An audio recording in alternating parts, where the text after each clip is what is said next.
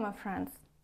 Today, shelling continues from Russian territory towards the border towns of Chernihiv, Sumy, and Kharkiv regions. Moreover, strikes with guided bombs toward the Kharkiv region are being observed again. Unfortunately, explosions in Kharkiv persist. But periodic strikes are also reported near Belgorod. Uh, meanwhile, Shoigu is trying to monitor the operations of factories and is dissatisfied with the insufficient staffing levels there. Огромные деньги выдали. И все напрягают, все делают все для того, чтобы это оборудование пришло сюда.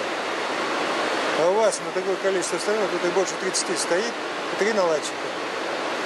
Чего вы тут налаживаете? Вы должны пахать в три смены.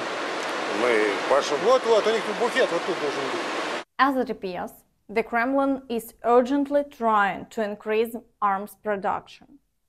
Similarly, uh, many remember how Lithuania recently summoned the Belarusian ambassador over Lukashenko's statement. So it seems they are trying to demonstrate through information that they can do something. So just listen to what he's saying. Ну, Чтобы мы упрощенно к этому не относились, мы должны точно знать, чего они хотят. А сколько у нас все время они вякают про эти Сувалский коридор, сколько тут километров до России, до Калининградской области от наших границ? Ну вот там 42 километра. Это Напрямую если, 42. если по прямой, а Да. если по границе, то около 90. практически ничего. Зря они себя так ведут.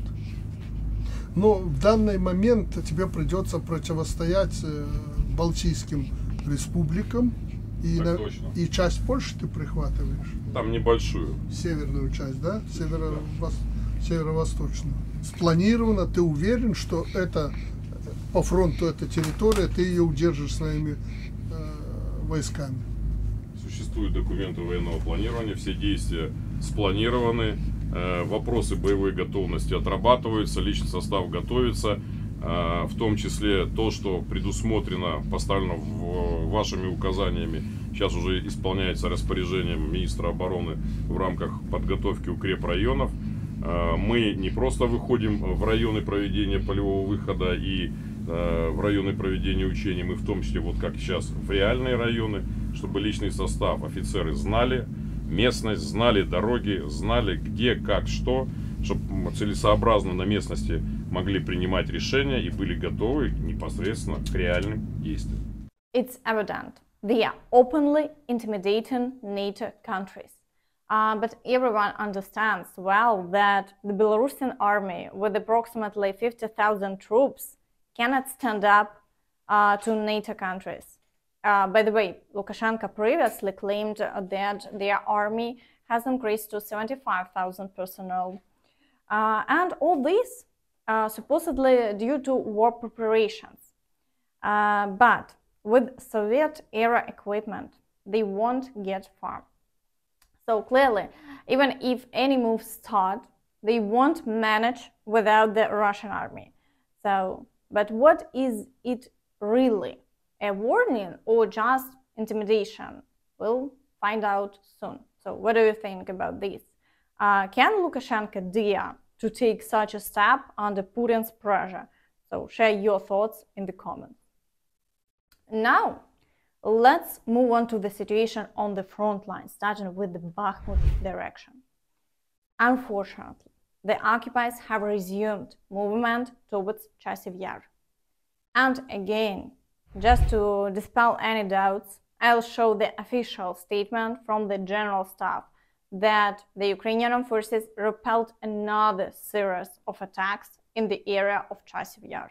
In the Bakhmut direction, our soldiers repelled four attacks in the areas of the settlements of Chasiv Yar, Ivanivsk, Klishchivka of the Donetsk Oblast, where the enemy, with the support of aviation, tried to improve the tactical position.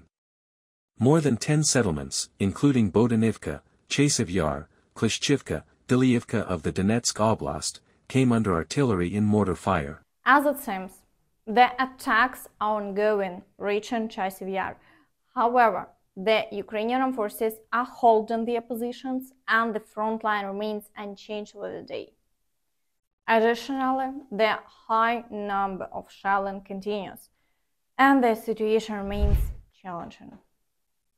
In the Avdiivka direction, the Russians also continue to actively advance towards the settlement of Umanske. Over the day, the Ukrainian forces repelled all attacks and the front line remains unchanged. Moreover, the battles for Berestove persist, and further south, there are fights for Pervomaisk and Nevets. Overall, there have been 16 attacks recorded in the Avdiivka direction in a day, indicating significant activity. So shelling also continues in large numbers. And today, incorrect information from foreign media about the Avdiivka direction is circulating. So let's start by showing their statement. Russia remains to capture two villages near Avdiivka to enter the operational space, Bild. Analyst This is how Bild Open Data analyst Julian Ropp commented on the situation west of Avdiivka. Initially, the armed forces of Ukraine held the line there along the line Berdychi, Semyonovka, Orlovka, Tonenkoy. There are ponds and small rivers that are convenient to defend. To date, the armed forces of the Russian Federation have broken through this line everywhere, except for Berdychi and Semyonovka. There are stubborn battles for them, but they are already partially controlled by Russia. Active resistance is provided by the 47th Mechanized Brigade of the Armed Forces of Ukraine. Everything here is correct but there is no mention of any breakthroughs to operational spaces, nor can there be. It feels like these experts last looked at a map six months ago. So the thing is, uh, as you all know, there is construction underway for the defensive line. Uh, besides, there were small defensive lines around these villages before. Yes, the Russians breached them, but Beyond Kurakhove to Karlivka and further north, there is a new powerful defensive line under construction, just like before. So those small defensive lines the Russians breached don't lead them to operational spaces because a powerful defense lies ahead. In the Marinka direction, the occupies continue to storm Krasnogorivka, Novomikhailivka, and fights have resumed in the village of Pobeda. Here, the occupiers are trying to expand their controlled territory, and there, uh, there have been 30 attacks in this direction in a day. Although the front line remains unchanged, the Ukrainian forces report a catastrophic shortage of weapons and ammunition to eliminate the Russians in this area. In the Mariinka direction, the Russians feel very free. 2.5 kilometers from the front, south of Novomykhailivka, Russian mortars are not even camouflaging their positions, in the village of Solik, without armor in slippers at all, they are resting and calmly digging in. According to the interceptions, they say that our artillery does not finish off there.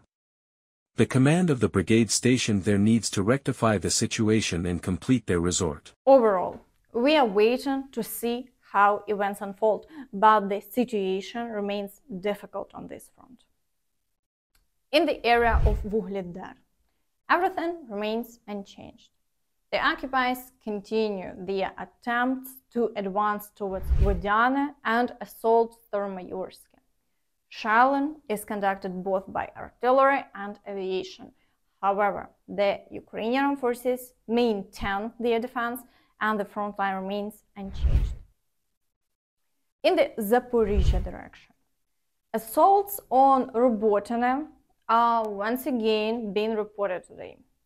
However, near Verbove, the Ukrainian forces repelled all attacks and the front line remains unchanged. Shelling in this area also continues.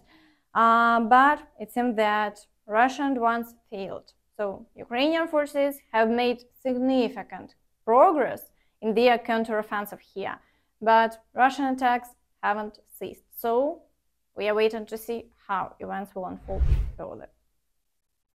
In the Kherson direction, occupiers continue shelling the right bank and occasionally launch attacks on Krynki.